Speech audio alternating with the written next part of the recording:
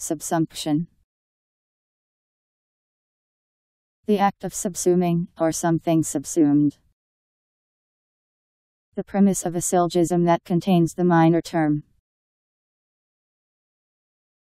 S U B S U M P T I O N.